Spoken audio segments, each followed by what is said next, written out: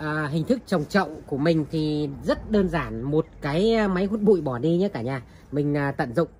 Cùng với một cái thùng mình để ở phía ngoài như thế này. Bên trong là một cái chậu thì mình sẽ cho nước và thức ăn à, xuống à, phía dưới như thế này thôi. Thì mình cũng không cần phải chăm à, nhiều cả nhà. Mình đổ nước và có thức ăn để sẵn vào cái nước như thế này thôi. Tự nó sẽ ngấm hấp thụ cho cái cây bầu nó phát triển lên cũng rất là cao và tốt. À, cái trái bầu thì cũng một chín một mười so với lại cái cây à, trồng ở ngoài đất. Đây như mọi người thấy đây cái à, trái bầu này là trái đầu cây của cái cái cây mình trồng theo hình thức uh, trồng chậu. Thì nó cũng uh, phát triển rất là tốt. Hiện tại bây giờ cũng có thể nó lên đến 5 cân rồi. Quả này nó cũng phải được 4 5 cân rồi. Đó còn là cái trái này là trái uh, trồng bằng ngoài đất. À, trồng ngoài đất thì thực ra mà nói là nó to nó phát triển hơn à, nhưng mà với cái thời tiết ở Anh Quốc thì cũng không có gì là mình à, bảo hành để cho cái cây nó ra trái được hiệu quả hết tất cả. Thì mình à, với cách của Vinh Lê thì Vinh Lê vẫn trồng được cả trong thùng chậu và trồng ở ngoài đất. À, để giữa so sánh cho mọi người chia sẻ nếu mà trường hợp mình không có đất tại nhà thì mình cũng có thể trồng bằng cái một cái chậu rất đơn giản như thế này thôi. Mình để trong uh, mái che mái lan can hoặc là cửa sổ bất cứ một cái chỗ nào có cái chỗ cho nó neo lên thì là nó sẽ uh, cho mình cái kết quả là như thế này.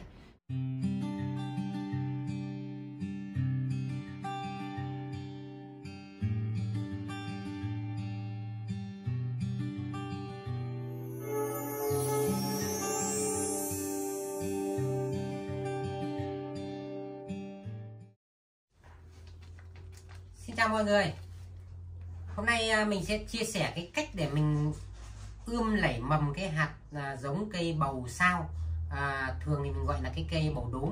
Nó à, có độ chiều dài rất là dài. À, Năm ngoái như mình trồng thì nó dài đến cả một mét Đến gần một mét một quả bầu. Và nó nặng đến khoảng 5 cân.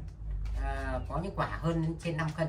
À, Cái cách thức mình như thế nào thì mình sẽ chia sẻ mọi người. Cái cách để mình à, bắt đầu khi gieo giống cái À, cái hạt bầu những cái giống cây leo giàn à, cái hạt bầu sao như thế này? À, mình có thể mình à, mua hạt ở bất cứ một chỗ nào người ta bán. Thường thì cái giống bầu này thì ở Việt Nam mình là nhiều hơn. À, các cái chỗ mà trung tâm làm vườn ở bên nước ngoài thì nó không có. Thì mình phải bắt buộc mình phải liên hệ để tìm cái giống à, của người Việt mình mình xin. À, một cái giống hạt bầu sao như thế này mình gọi là bầu đốm. Thì à, cái cách thức để ươm cho nó nảy mầm thì à, mình sẽ chia sẻ đây à, mình xé cái à, túi của nó ra thì bên trong nó có những cái à, hạt như thế này. Và sau đó mình à, cắt ra để mình à, lấy một số hạt mình gieo. Thường thì à, mình à, gieo lúc này nó còn hơi sớm. Mình sẽ chia sẻ cái cách để cho mọi người chuẩn bị à, tinh thần gieo hạt vào cái mùa hè. Mình sẽ rửa qua cái lớp vỏ ngoài của cái hạt bầu đi.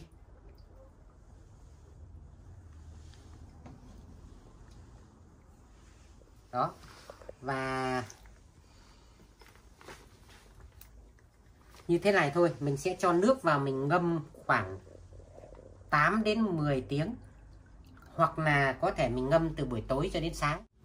À, sau khi mình ngâm nước được 8 tiếng thì mình sẽ dùng à, cái miếng à, bông như thế này. Cái thường cái miếng này như à, mọi người biết là đều là để dùng cho phụ nữ mình là đánh make up thì mình cũng ờ, rất là tiện để cho mình ờ, ủ cái ờ, hạt giống.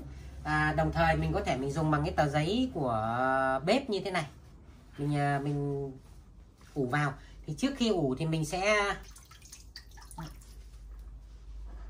mình sẽ sắp nước qua cái bông cho nó có cái độ ẩm và bằng nước ấm. Nước khoảng 2 30 độ ấm là mình sẽ dùng bằng cái nước ấm như thế này và mình sẽ lấy cái hạt này mình bỏ vớt ra. Để ráo đi. Cái ờ, mình làm rất là đơn giản như thế này thôi. Mình sẽ xếp đều vào trong cái ờ, bông như thế này và mình đè ốp nó lại. Đồng thời là một cái tờ giấy uh, lau bếp. Mình cũng có thể mình uh, đặt nó vào phía ngoài để mình bọc cái hạt lại cho nó có một cái độ ẩm thêm. Với những cái hạt to thì là mình sẽ cho nó ẩm một chút cũng không sao. À, và sau đó mình sẽ đưa vào một cái khăn à, như thế này khăn ướt.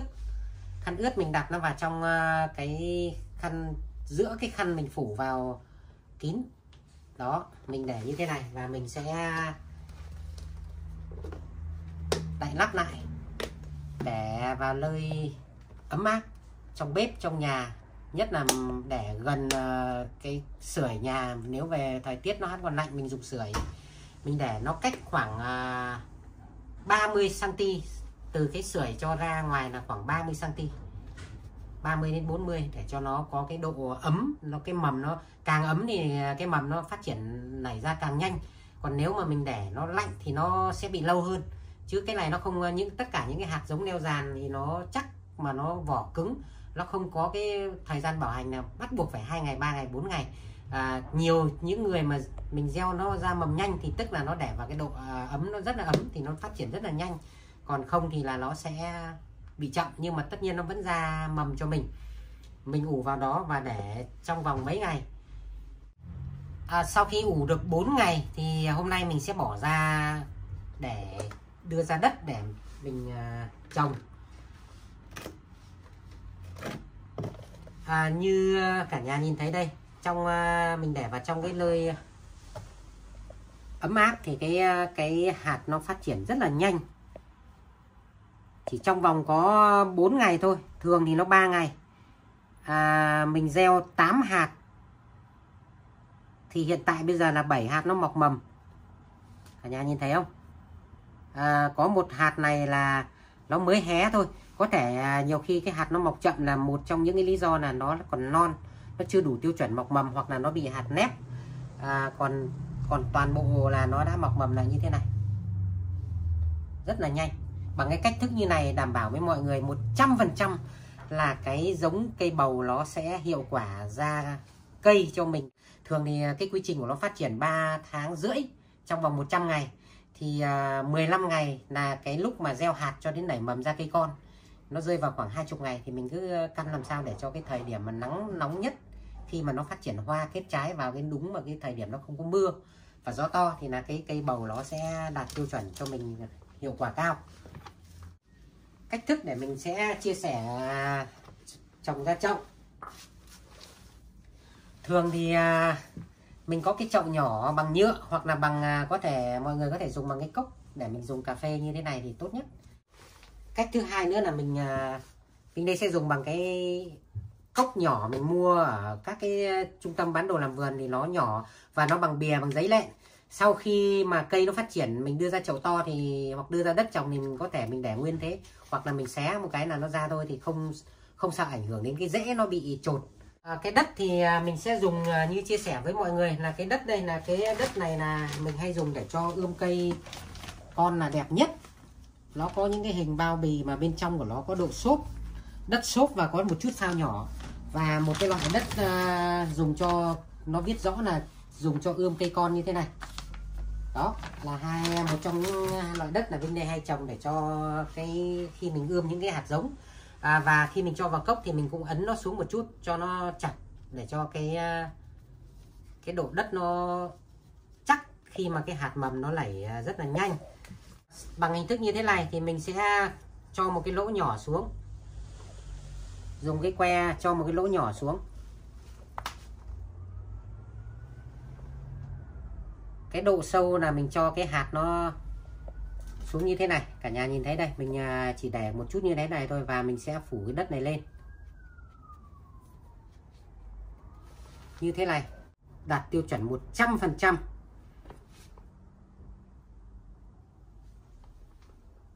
khi mình đưa xuống thì mình lưu ý cái rễ mình đừng để cho nó bị à, gãy.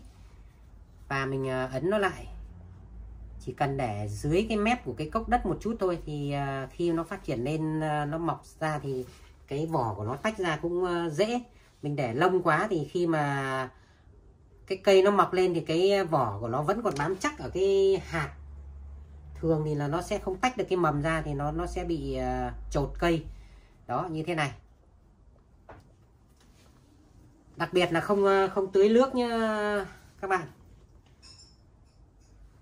đất nó có độ ẩm như thế này khi mình đưa hạt xuống thì mình không tưới nước nữa mà mình chỉ có phun một chút nước ở phía trên bề mặt thôi. À, với cái hình thức như này thì à, sau đó mình à, phun một lớp nước mỏng lên. Đợi tới khi mà cái mầm nó nhú lên thì mình lúc đó mình sẽ cho nước vào. Mình để vào độ à, độ ẩm. Thỉnh thoảng mình sẽ phun lại một chút như thế này.